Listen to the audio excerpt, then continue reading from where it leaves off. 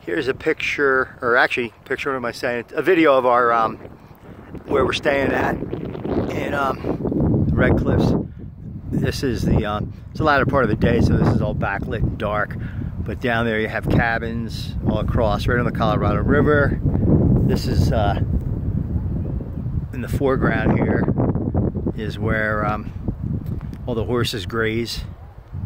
Right across here. Um, there's your cabins out there, and the river is right behind it. Uh, so, right across there at the base of the uh, the butte there is the Colorado River, and then in the you know, in between are all the cabins across there. Um, here's the grazing land for all the, you know the horses, and there's there's cattle on the other side, and uh, the uh, queen and king rooms are right here, which we have, which are on the everything's on the Colorado River. Um, you have some others that back to the uh, to the the grazing field here, which are kind of neat too. It's a different perspective.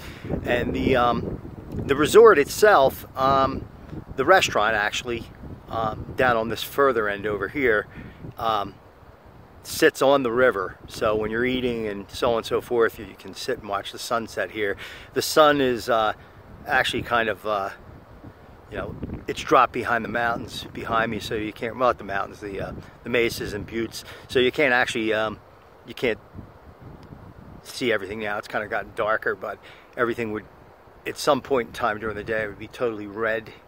Uh, up on top of the hill up there is the um, Castle Valley Winery. Um, then, of course, you have some of the farmhand live here, and then there's all kinds of different types of rooms and things. There's a pool house, um, a gym, uh, several. Um, there's a museum a big banquet room. Um, pretty neat. So, all right, take care.